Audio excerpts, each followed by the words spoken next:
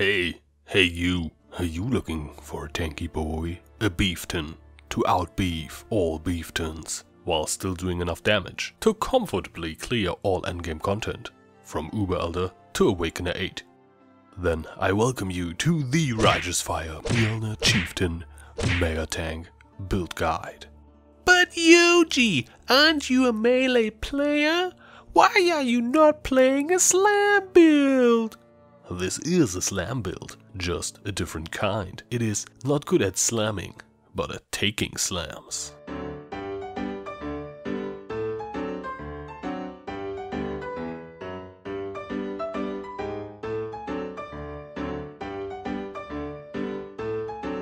And if you are now curious how I achieved these levels of tankiness, where even a rare pack of legion mobs in a damage modded tier 16 map won't kill my character, let me show you the ways of the beef.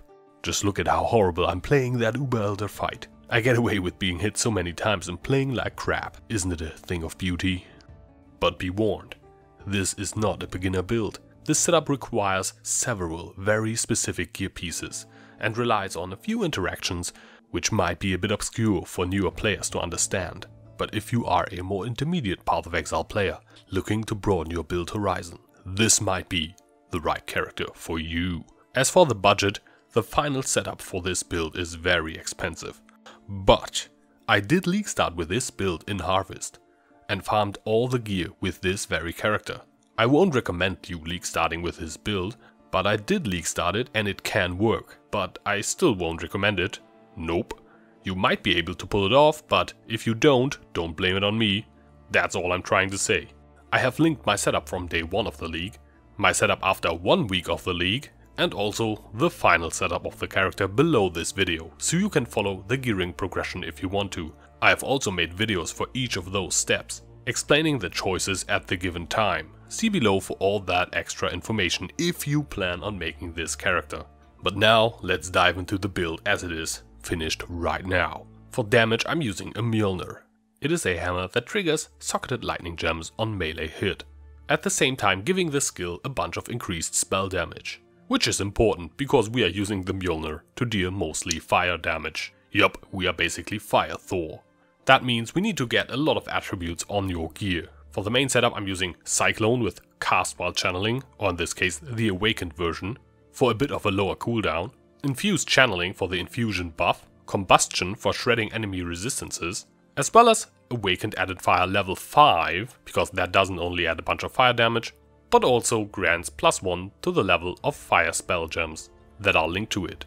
And the spell we are triggering with the main setup is Purifying Flame, which is a physical skill that converts half of its damage to fire, and we also convert the other half of the phys damage to fire, dealing only fire damage. In the Mjölner I'm using Wave of Conviction, this is also a physical spell, but it converts 25% of its damage to lightning, making it a lightning spell, and 25% to fire damage. We convert the rest of the physical damage to fire as well, making it deal mainly fire damage, which leads to it shredding 25% of enemy fire resistance on hit. We link the wave with Elemental Focus for a nice damage buff, and Awakened Added Fire level 5 for the plus 1 gems and the added fire damage. And if you look closely at all these setups, the Infused Channeling Support Gem for example gives us the Infusion buff, granting us 10% more damage, with damage of the same type as the supported skill, which in this case is physical damage. So our main setup gives damage to the Wave of Conviction, by giving us more physical damage globally. Combustion also shreds enemy resistances, which makes our Wave of Conviction stronger, not only the Purifying Flame it's supporting, and at the same time the wave shredding resistances makes our Purifying Flame stronger. So basically both setups buff each other. There's also the Purifying Flame Helm enchant that lets Purifying Flame apply an increased damage taken to enemies with the consecrated ground it provides, in turn also buffing the Wave of Conviction, but of course also itself. That way both of our main damage setups do quite a bit of damage. The Cyclone damage is not that important though. The Mjölner I'm using has a Fortify on hit Corruption. That makes this Mjölner cost 4 to 5 Exalted Orbs instead of 2 Chaos Orbs for a normal Mjölner. While this does make the character very much more tanky, it is not needed until you want to run super juiced rippy tier 16s without dying to Legion or tank Shaper Slams as shown before. It is a nice endgame upgrade, but nothing needed to start the build out. Just get the normal version of the hammer and build up from there. Important stats for any Mjölner build. First of all get the attribute requirements out of the way.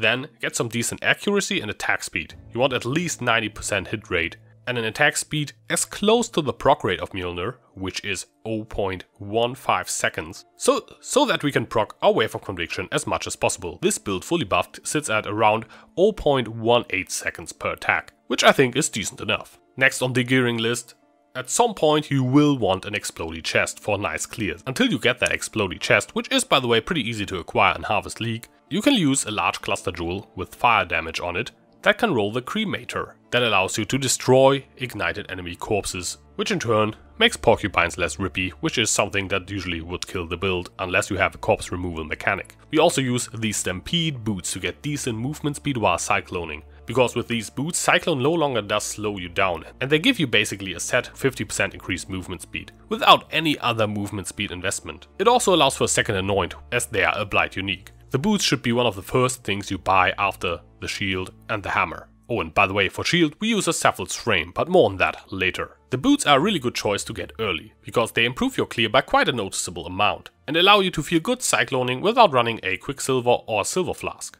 For anointments on the amulet, put Heart of Flame. But make sure you get a nice amulet first, as this needs a golden oil. It is the best damage anoint we can get on the tree. And on the boots I put the anointment of Cleansed Thoughts, which makes gearing for Chaos Resist much easier. And we will need that for the Divine Flesh later. But be careful, this also doubles negative Chaos Resist. So if you are still sitting at negative values of Chaos Res, wait till you anoint your boots. But once you are in the positive, this will simply double the value. As for auras, I'm running Herald of Ash for deeps, and it also works really well with the Explodey chest. Skitterbots for chill and shock, which is also deeps, and some safety. A low level precision for some accuracy, some crit, but mainly for the Watcher's Eye mod, that gives us attack speed. And a Purity of Fire for maximum fire resistance, as well as a defensive tool, because we take quite a considerable amount of our physical damage as fire damage, which we then mitigate via resistances. It also helps sustain Righteous Fire, and we also have a Watcher's Eye mod that we use with this aura. An Enlighten of around level 2 is needed to run all these ores comfortably. A higher Enlighten will allow you to level Precision a bit higher. You can use two completely random rings, and do all content with those. Those will cost you, for example, 2 Chaos each. And if you do that, in your glove slot put Repentance for a nice DPS boost, because you're not getting much DPS from your rings with this setup. I have done that, it works fine, I killed all the bosses in the game with this, just a bit slower than with the higher damage setup. You could invest a few more Chaos or even an Exalt each to get nice Opal rings with some fire damage on them or maybe flammability on hit for some extra damage. Still run Repentance gloves and still be fine and clear stuff a little bit faster. Or you can be stubborn like me and spend 8 Exalted Orbs per ring on 2 Circles of Anguish, which give you increased fire damage, as well as Herald of Ash buff effect, which gives you even more deeps, and it also synergizes insanely well with the Explodey chest, makes your clear super buttery smooth, but it also gives you nothing else the build really needs. So you will need to fix your resistance with a nice pair of rare gloves and get some cold and lightning resistance here. But like, seriously, if you want to cut out any budget from this build, get rid of these two rings first. And if you then still want to cut some budget, uh, get rid of the Fortify Mjölner. That makes the build over 20 Exalted Orbs cheaper. And it works perfectly fine without it. Like I played this build to level 95 without any of these insane upgrades. I just wanted to see what the build can do maxed out. With that out of the way and talking about getting out of the way, I'm running a dash setup, linked to a second wind, which makes moving around a lot smoother than any other movement skill in my opinion. But it does put a 155 dexterity requirement on the build, on top of all the crazy stuff you need for Mjölner, Chaos Res for Divine Flesh, and all the other stats and uniques you might want to crank in there. So if you want to have it easier, you can run Flame Dash, or Leap Slam, or Shield Charge, or just a lower level dash, but I like a higher level dash and so I made it work. Alright, let's go over to defenses, because this is a tanky boy and it has a lot of defensive layers. First of all, against physical damage we take physical damage as fire damage from the helmet, the Chieftain Ascendancy, the Shield Corruption and the Watcher's Eye, we get 10 plus 10 plus 5 plus 8, which should come around to 33% of physical damage taken as fire damage, which then gets checked against our 85% resistance against fire, which makes this build pretty resistant against physical damage. We also gain endurance charges via a cluster jewel and have a cast damage taken, immortal call, increased duration setup. Next up, against elemental damage, we did not only have 85, 80, 80 and 90 resistance, the 90 not being against elemental but against chaos, but with the Divine Flesh, Timeless Keystone, we do take 50% of our elemental damage taken as chaos damage. But beware, that does not mean that we take part of the physic damage, that we then take as fire damage, also as chaos damage. Damage taken as mechanics only work once, not twice. So the first damage we do, we take partially as fire damage, but not as anything else. But if we take direct fire, lightning or cold damage, we take half of that as chaos damage, which then gets mitigated by 90% chaos resistance and the other half by 80 or 85% resistance. And Divine Flesh works against Righteous Fire degeneration. That means that half of our RF degen gets reduced by 85% and the other half by 90%. And the goal of this build for me was to run Righteous Fire and sustain it unbuffed, just standing there in my hideout without anything up. And that worked. Righteous Fire grants us mainly 40% more spell damage for both spells in our main setups. And in this setup it even works without Purity of Fire. So you could take off Purity of Fire, run Herald of Purity for more damage. That also means you either don't need an Enlighten or you can run a higher precision aura and gain a bunch of extra damage. But I want this to be a tanky boy, so I'm running the more defensive setup with Purity of Fire on. On Righteous Fire I did put two damage links with Elemental Focus and Burning Damage supports, and I'm also running an Empower which buffs the more damage multiplier slightly, and of course it is a Vaal Righteous Fire for the extra Vaal buff that we can activate during boss fights etc. But if you don't like that setup, you can run anything in these links. For example, Enduring Cry linked with Second Wind support and Urgent Orders, or an Infernal Cry that replaces your Explody chest until you get it. Anything goes here. I think the most insane part about this Righteous Fire setup is that buffed, after Righteous Fire, we still have over 2000 life regen per second. And on top of that also goes Life Leech. If we are fully buffed, we are regenerating insane amounts of life with Righteous Fire up and we can turn it off at any time if shit hits the fan. One of the best things you can get that can enable you to get Righteous Fire going on your build faster is an Elder Belt that has an increased life recovery mod that rolls on eye level 75 and higher Elder bases. And with that I was able to get Righteous Fire online before specking into Divine Flesh even. And talking about Divine Flesh, the 90% Chaos Res we have comes to be by the following 10% extra Max Res from Divine Flesh, then 4% from the Saffell's Frame, and 1% from a small cluster jewel, with the anti-venom notable. This also has a lot of chaos resistance on all these nodes, making it way way easier to cap out our chaos resistance without putting too much strain on gear. As for limitations of the build, minus max resist map mods, as well as less life regen and no life regen, make it hard to impossible to run Righteous Fire unless continuously leeching. You can occasionally run such a map, for example if it is corrupted and you need to run it for completion, but on the regular you want to reroll these mods. Minus max resist does remove our main defensive mechanic against physical, elemental and chaos damage. So that's no bueno. Oh and uh, elemental reflect kills the build, but the rest of the mods are okay to run. As for leveling, I leveled this build as a Purifying Flame Marauder. I muled the Purifying Flame gem from a Templar, and then I bought a Wave of Conviction as soon as I could use it in Act 2 from another player, because Marauders don't get those gems. And then I leveled with that, which is a pretty decent leveling spec, as a Chieftain, until around level 68 after Mercer's Lab, at which point I was able to equip Mjölner by taking a lot of attribute nodes on the tree, actually allowing me to meet the stat requirements. As I mentioned, the Bare Bones League Starter 5-link early mapping setup is linked below the video. That's the actual gear I had on day 1 to day 2 of the league, that allowed me to get through white and yellow maps pretty easily. Another very important point of this build is flasks. One thing to note is that you can run only one unique flask on this build until you get a Corrupted Blood Immunity Jewel which allows you to drop a Staunching Flask to get a second unique flask running. And another general note, quality on flasks is important, so never try to cheap out on glass blowers. Never. Alright, Cinderswallow Urn is great for damage, sustain, attack speed, and the extra regen on top is also nice. Atziri's Promise adds extra leech and a lot of damage because it gives us chaos damage from our physical and our elemental damage, which we both do have plenty of. The Granite Flask of Warding is against Mad Mods etc. And the Ruby Flask is nice because it protects versus physical and fire damage and makes our RF do less damage, freeing up some regen. As mentioned, make sure to run a Silver Flask and a Quicksilver Flask as long as you are not running the Stampede boots. As soon as you get those, the Speed Flasks will be useless. Well, except for the Silver Flask for the attack speed. Which is why Cinderswallow's Onslaught is still useful for the build. And the Life Flask I'm running is actually a very important thing. It's a non-instant flask. And yes, an eternal flask here would be better, but I simply couldn't be bothered to change it yet.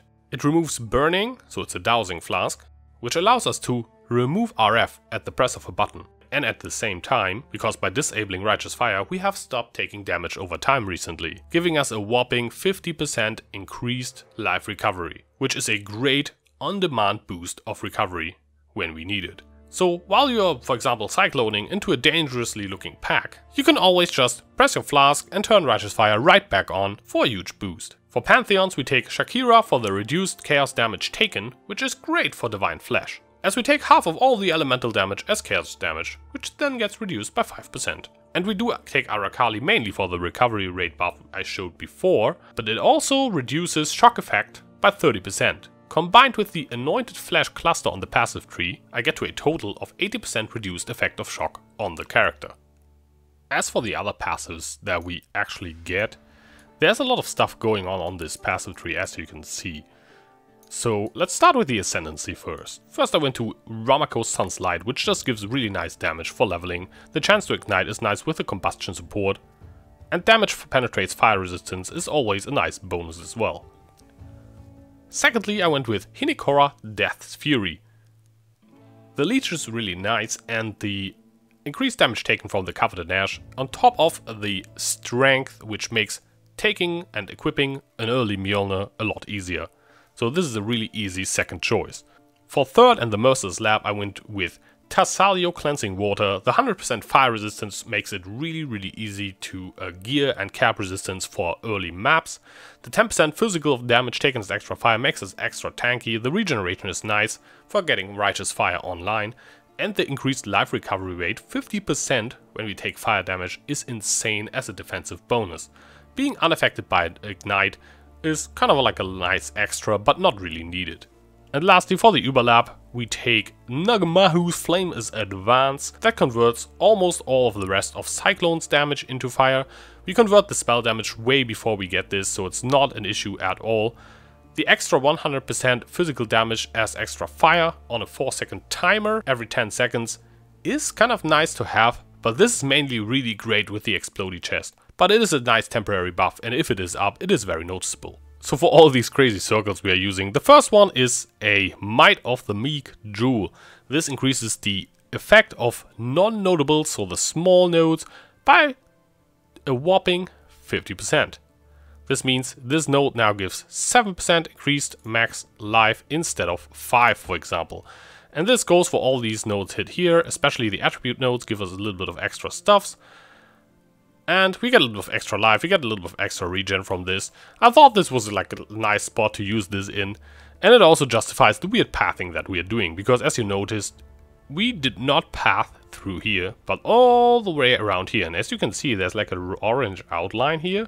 And that is because all the way up here, we got a split personality. This jewel gives increased stats, or has an increased effect of the stats on it, which is plus 5 int and plus 40 accuracy, per passive nodal between this cluster jewel, or this jewel in this cluster jewel, and the starting point of the class.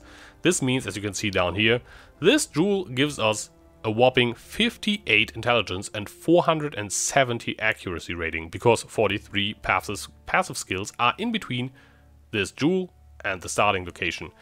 This is why we are pathing all the way this way around and not through here, because this always tries to take the shortest, shortest route.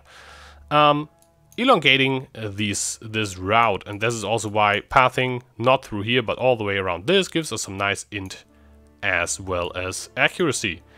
But it is also pretty useful because uh, there's some cold damage here because the Glorious Vanity, the Timeless Jewel, uh, converts all the nodes in here into random nodes. And I actually got pretty lucky, so uh, this number, 1406, sacrificed in the name of Xibaqua, so if you don't know how these jewels work, the name of whatever is sacrificed or whatever in um, makes uh, makes out which keystone you get if there's a keystone in within this radius, and in this case it is Divine Flesh as I said before. So you need this jewel to even get this keystone. And at the same time, the random number makes uh, out what what happens to all these random small nodes. So in this case, I'm actually pretty lucky because there's a lot of useful stuff on my path. I get physical damage from here, fire damage from here, life from here, spell damage here, spell damage here. There's the only not useful one, which is uh, attack damage, and some armor on this one. So this one is actually pretty damn useful. Uh, could have been much worse, but I, if this granted absolutely nothing here, I would still use it, because I will need Divine Flesh. So this is a kind of like a nice bonus. If you can get a better one where even these uh, notables are useful, you can maybe even make a more powerful tree, of course. Um, the next shenanigans we do with the passive tree is put a Thread of Hope here. And this jewel uh, reduces elemental resistances as a downside, so you need some more res to equip this and not be uncapped. And we are using a medium ring, and it allows us to spec any node that is in between these two uh, rings here.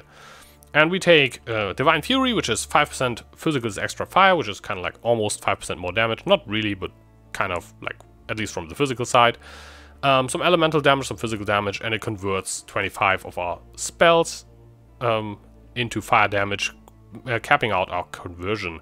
This node used to be used to be much better with some penetration, but now it's 50% elemental damage. For one point, I think it's still very much worth taking. Um, Arcane Capacitor gives us Arcane Surge on kill, which gives us Arcane Surge while clearing. It also gives some mana that makes mana sustain a bit smoother and a bit more reliable, because we simply sustain mana by regenerating. Singular Focus gives us 25% uh, increased effect of Infusion. The Infusion buff, as I said, is 10% more damage, so 25 is 2.5% more damage on top of the more damage we already have. It's also some attack speed, which is nice, and Cyclone damage, which doesn't matter at all. And there's Sanctum of Thought. Reduced effect of curses on us, which is nice. Armor, which is nice, but the you take 20% reduced extra damage from critical strikes is something that can save you if you get crit in a crit map by um, for example, Legion monsters, which do a crap ton of damage to you. Um, other than that, we have Elemental Overload for some extra damage because we're not Resolute Technique. Um, and we do keep this up very, very consistently because we hit so often with two spells and Cyclone proccing, uh, proccing this very reliably. And I'm using Unwavering Stance, which makes it so I can get hit more reliably, which makes it uh, more like reliable to keep the 50% increased life recovery rate of this Ascendancy Tasalio up um, most of the time, which is kind of nice to have as well. And also not being ab able to get stunned is, I think, uh, personally a great thing. Here's the Watcher's Eye that I talked about. It is 12% increased attack speed while affected by precision, which is a nice 12% attack speed on a jewel. Uh, on top of that, we take 10% of physical damage from hits as fire damage while affected by Purity of Fire. If you decide to not run Purity of Fire, you can drop that, of course. Um, that's just a Corrupted Blood Jewel. Um, I decided to take like some useful stats, so increased damage and attack speed, which is a good stat for this build. But if you want, you can also get a better jewel here and get the Corrupted Blood on any unique jewel, for example on the Might of the Meek, the Glorious Vanity or the Theraphobe, but that will cost you a bunch of extra Exalted Orbs. Alright, for the cluster jewels, we're using an 8-point fire jewel, and I have, have Burning Bright and Widespread Destruction, both of which give mainly AoE and some elemental damage, which is why I use them. You could get a third one here, there's I think something of Draught, that gets uh, AoE as well, which is pretty nice. Also Flammability, Curse Effect if you're using that curse. Um, Cooked Alive I think is one of the better ones. Uh, minus 10 to fire rest to ignited enemies. We have almost 100% chance to ignite on Cyclone and on Purifying Flame, so basically everything we meet is always ignited. Um, so this is really, really good and very reliably up. Uh, and then on the other medium, this is a channeling skill damage jewel with four passives. Oh, by the way, this is a fire damage over time multiplier one. Um, this is way, way harder to roll with two passives, which is why I only have one, but this is really the one you want. Um, yeah, I have Rapid Infusion, 50% increased effect of Infusion, which is 5% more damage from the Infusion buff, which is good. The movement speed doesn't affect us because we're using Stampede. And then there's Channeling Skills deal 25% increased damage, doesn't do add anything at all, but Enduring Focus, 25% chance to gain an Endurance charge each sec second while channeling, in our case cycloning. This fuels the Immortal Call and is also just a generally a nice defensive layer against physical damage, and I already talked about this the Chaos Res we need to cap out, and there's lots of resist and stats and mana and whatnot on here to make um, gearing a bit easier. Yeah, if you can, cap out Chaos Res with a two pointer here, you can save a skill point and put it somewhere else, for example into this air AoE node. Uh, I picked this AoE node because there's it's probably the best thing I could spec at this point. Could also spec it into some life. By the way, in case you're wondering why I don't why I have don't have this life node, I put it in here instead because that's six percent and armor that's five percent. This is better. Um, yeah, as for leveling uh, early on, I rushed for this to convert all my fire damage, and then I rushed to EO to get some more damage. Then I picked up all this damage, I passed through here and picked up these damage nodes as well in the last bit of conversion without a Thread of Hope uh, while leveling just like route here and be done with it. And then you basically fill up some life, um, fill up some either jewel sockets or some damage as you go. If you can get early cluster jewels, good. If not, then don't bother. And then I picked up some uh, attack speed and accuracy down here, which is nice once you get into Mjölner. There's also some accuracy here, which makes the Mjolniring a lot smoother early on. And as I said, take all the attribute nodes you need while leveling. Like take, you can take precision, you can take mana flows, you can take all these like 30 nodes, 30 dex, 30 int, uh, 30 dex here. Even if you need 30 strength, take that as well. Like just do it and uh, smooth out your gear later. It doesn't really matter. Alright, with that said, one thing is left to be said. Bandits kill all because as you can see we need all the freaking passive points. That's it from me. I'm Yoji, and I will see you in the next one.